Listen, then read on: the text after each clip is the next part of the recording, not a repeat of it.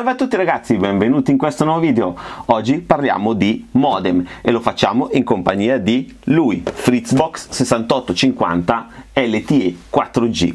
Eh, un dispositivo appunto come avete capito dal nome è nato apposta per le connessioni LTE 4G, quindi per funzionare ha bisogno che al suo interno gli andiamo ad inserire una SIM dati, che sia una SIM dati FWA, quindi con dati giga illimitati o anche la classica SIM che abbiamo nei nostri smartphone, non importa, l'importante è che all'interno di questa SIM ci sia una connessione dati. Eh, lui è un dispositivo ovviamente che diventa utile eh, nelle abitazioni come eh, nel mio caso dove utilizzo la rete FWA eh, perché eh, quella diciamo cablata è molto molto scarsa, almeno fino ad oggi è così, poi in futuro ovviamente dovesse arrivare la fibra allora tutto cambierà, ma eh, nella mia zona dove non ho la fibra questa tipologia di connessione diventa davvero molto molto interessante. Eh, questo dispositivo ovviamente è compatibile con qualsiasi operatore che sia Wind, Team, Vodafone, Iliad, Fastweb, cioè non importa di chi sia la SIM che andiamo ad inserire,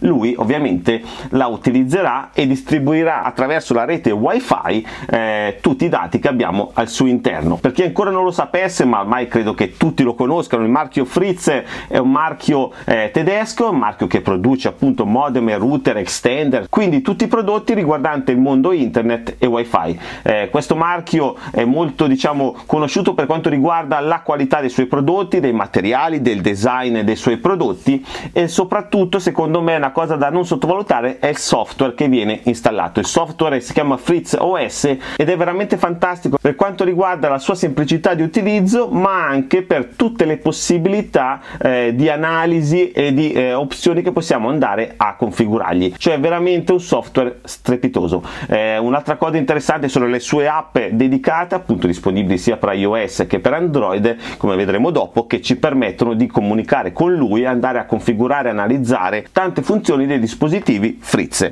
Allora questo dispositivo eh, vi arriva all'interno di questa confezione. Troviamo ovviamente lui con il suo alimentatore un cavo LAN eh, piatto e non tondo per quanto riguarda la sezione del cavo. E poi troviamo tutti i manuali tra cui il manuale quick start che ci permette di eh, avviare in maniera rapida il dispositivo perché veramente in pochi secondi siete online. Basta veramente poco. E poi troviamo questo altro cartoncino molto interessante perché abbiamo tutte le password e un QR code che ci permetterà di associare velocemente tutti i dispositivi alla nostra rete wifi creata appunto dal nostro Fritzbox. Quindi quindi eh, questo cartoncino è veramente molto molto importante anche il QR code eh, diventa molto utile per semplificarci la vita nella connessione. Allora per quanto riguarda le sue caratteristiche lui è un dispositivo che ha due antenne eh, orientabili e questo è una cosa molto interessante perché avere le antenne esterne eh, ci permette di andare a ricevere la rete 4G della BTS quindi dell'antenna che trasmette verso la nostra abitazione in maniera ottimale. E poi tramite il software appunto appunto FritzOS è possibile andare anche a fare un allineamento delle antenne quindi una configurazione precisa di dove posizionare le antenne rispetto alla nostra BTS io vi consiglio per vedere dov'è la BTS rispetto alla vostra abitazione di eh, utilizzare LTE Italy che eh, vi dà ovviamente le indicazioni perfette sulla mappa di dov'è l'antenna rispetto alla vostra abitazione così che potete eh, capire e dove direzionare queste antenne. E poi tramite il suo software FritzOS date l'ottimizzazione ottimizzazione per quanto riguarda la regolazione e l'inclinazione delle antenne. È possibile sia metterlo appoggiato che appeso a una parete, quindi è possibile installarlo in tutte e due le modalità. Abbiamo eh, per quanto riguarda le porte di connessione quattro porte LAN gigabit, poi abbiamo una porta classica per il telefono analogico e poi abbiamo l'ingresso della SIM, mentre poi sul fianco abbiamo quello che è una porta USB 3.0. Queste sono tutte le sue porte di connessione mentre per quanto riguarda quello che è il suo hardware al suo interno abbiamo un modulo 4G LTE di categoria 4 lui ovviamente non è un dispositivo top di gamma eh, è un dispositivo eh, di categoria media per quanto riguarda appunto le sue caratteristiche hardware eh, mentre a livello software di costruzione secondo me tanta tanta roba però appunto essendo un eh, prodotto secondo me di fascia media per quanto riguarda l'hardware abbiamo questa categoria 4 che ci dà la possibilità possibilità sì di utilizzare il 4G LTE ma eh, ha dei limiti. Ovviamente vabbè, il limite per quanto riguarda il download è di 150 megabit che però vabbè per il 4G secondo me 150 possono anche starci anche perché tipo dove abito io più di 150 non si va mai eh, in 4G ovviamente però la cosa che più penalizzante che potreste riscontrare è che la stessa sim che voi inserite in uno smartphone di ultima generazione eh, e poi la inserite all'interno di eh, questo modem potreste vedere una differenza di velocità per quanto riguarda eh, la velocità di download perché? Eh, perché appunto utilizzando questo eh, modulo di categoria 4 mentre magari lo smartphone recente ha un modulo mh, di categoria superiore quindi magari un 6, eh, cosa succede? Che il modulo di categoria 4 eh, non accoppia più bande, cioè praticamente lui prende una banda della BTS che vi trasmette e utilizza quella banda, una sola, indipendentemente quale vada ad agganciare, ma ne aggancia una, mentre un modulo di categoria 6 aggancia due bande e quindi le va a, diciamo, a sommare e, e crea una banda molto più larga, quindi questo ovviamente eh, dà delle prestazioni eh, maggiori per quanto riguarda appunto eh, quello che vedrete poi per quanto riguarda il download. E questo secondo me è un peccato anche se ovviamente qua abbiamo un dispositivo che sia questa categoria eh, per quanto riguarda il modulo però è un, un, dispositivo con una stabilità di connessione veramente pazzesca. E con queste antenne riuscite a prendere il segnale ovunque voi lo mettiate all'interno dell'abitazione. Non è da sottovalutare perché se avete anche un dispositivo con un modulo di categoria superiore quindi mettiamo un categoria 6 però non avete delle antenne direzionabili magari andate comunque a perdere eh, quello che sono le performance riguardanti il segnale che vi arriva dall'esterno. Per quanto riguarda invece il wifi abbiamo un wifi di categoria 5 quindi di tutto rispetto per un modem di questa eh, fascia di prezzo. Fascia di prezzo perché comunque questo dispositivo come vedremo dopo eh, si pone secondo me eh, in una categoria appunto a metà. Non è un top di gamma e non è un diciamo un entry level. Eh, è un dispositivo che essendo un dispositivo Fritz quindi di qualità costruttiva e di stabilità di connessione suo software eh, lo rendono veramente un dispositivo secondo me fantastico appunto sotto questi aspetti che non sono da sottovalutare eh, anche se ha al suo interno un modulo di categoria 4 allora per configurarlo è semplice.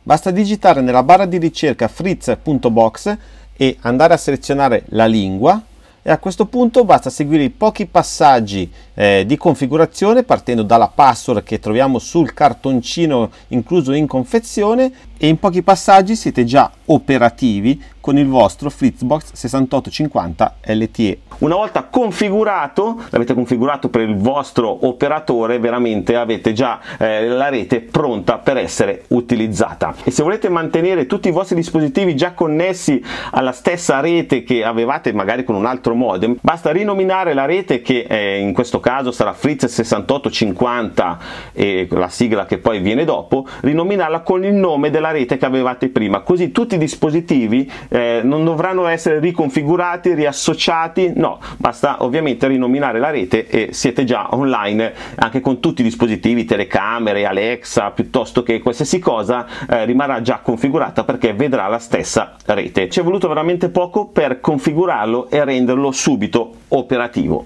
Eh, adesso andiamo a vedere quello che sono le caratteristiche del suo software, che ovviamente è uno dei suoi punti di forza, Fritz OS, e anche quello che sono le sue applicazioni. E per fare questo però ovviamente devo prendere il mio Mac.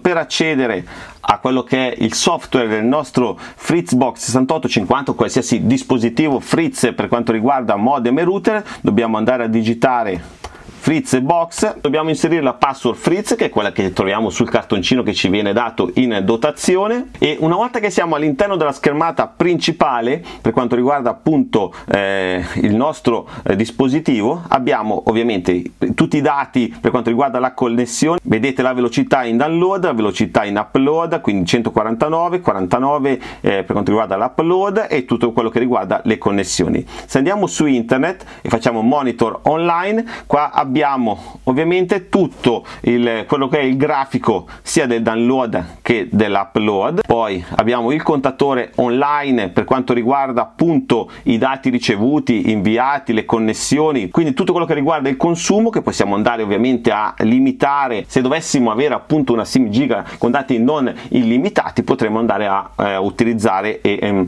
modificare appunto quali opzioni che diventa ovviamente una cosa molto molto utile da fare. Eh, poi possiamo andare ovviamente qua a rimodificare se cambiamo operatore cambiamo il provider internet e vedete anziché Windows 3 posso andare a scegliere un altro operatore quindi si riconfigurerà per quanto riguarda appunto le impostazioni su quello che è il nuovo operatore. Interessante anche la possibilità di selezionare le bande che vogliamo utilizzare per sapere che bande vengono trasmesse eh, dove abitate voi dalla vostra BTS più vicina che è quella che trasmette appunto verso casa vostra. Dovete utilizzare il sito LTE Italy e potete andare a selezionare le bande o se no lasciate su automatico e ci pensa lui a fare tutto. Qua abbiamo ovviamente tutte le possibilità di regolazioni le vedete per quanto riguarda ovviamente sia IPv6 che il server DNS e tutte queste cose.